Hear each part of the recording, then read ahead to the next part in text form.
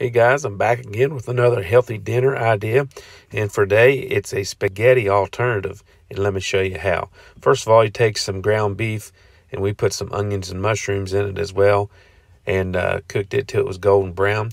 And then we have this device called a Veggetti. If you haven't had one, check it out at stores. Um, you can stick a whole zucchini in there and make uh, noodles out of zucchini, and it's a whole lot healthier. Look at the difference ordinary pasta 800 calories and 160 carbs but with the veggetti and doing it with zucchini 60 calories and only 8 grams of carbs.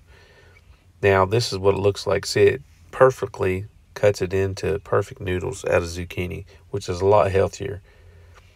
All right the next thing we did now you can buy your own pasta sauce. We made our own because there's a whole lot less sugar. So if you can do that uh, it's a whole lot better for you. And on our back porch, we have a box that I made, and we uh, have these uh, uh, red romaine and green leaf lettuce in a box in the back. Of course, you see some onions in there too. And there's no chemicals whatsoever on those. We got most of those plants from Rural King.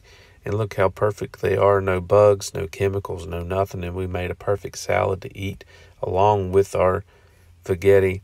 And look, you just put the noodles into the spaghetti sauce and meat, and there you've got a really healthy spaghetti alternative if you like pasta. And we have these for dessert. They're Quest peanut butter cups. I usually eat one. My wife usually eats one. It has 11 grams of protein and only one net carb. They are actually very good.